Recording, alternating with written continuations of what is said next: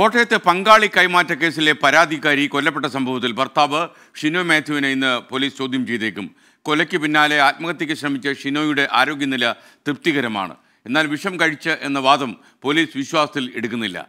അശ്വിൻ പാലാഴി കോട്ടയത്ത് നിന്ന് ചേരുന്നു വീണ്ടും. അശ്വിൻ പറയൂ. കൂടുതൽ വിവരങ്ങൾ.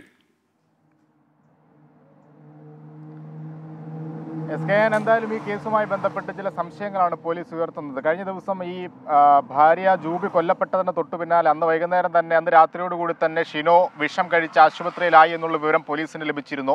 ഇത് ഷിനോ തന്നെയാണ് ആശുപത്രി വഴി പോലീസിനെ വിവരം അറിയിച്ചത്.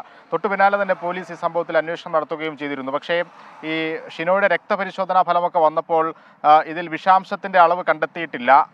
വിശദമായി നടത്തിയ പരിശോധനയിൽ പൊളോണിയം എന്നുള്ള ഒരു രാസവസ്തുവാണ് ഈ രക്തത്തിന്റെ അളവിലും അദ്ദേഹം കഴിച്ചതെന്നുമാണ് പോലീ ഈ ആശുപത്രി അധികൃതരടക്കം വ്യക്തമാക്കുന്നത്. അതൊരു വിഷവസ്തുവല്ല രാസവസ്തുവാണ്.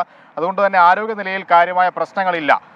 അത് ഈ നിലവിലിപ്പോൾ വിഷം കഴിച്ചു എന്ന് ഷിനോ പറയുന്നതിന് പോലീസ് അത്ര വിശ്വാസത്തിലെടുക്കുന്നില്ല. ഈ കേസുമായി ബന്ധപ്പെട്ടുള്ള അന്വേഷണം നീട്ടിക്കൊണ്ടു പോകാനായിട്ടുള്ളൊരു തന്ത്രം മാത്രമായാണ് പോലീസ് അതിനെ കാണുന്നത്. നിലവിൽ കോട്ടയം മെഡിക്കൽ കോളേജ് ആശുപത്രിയിലാണ് ഷിനോ ചികിത്സയിൽ കഴിയുന്നത്.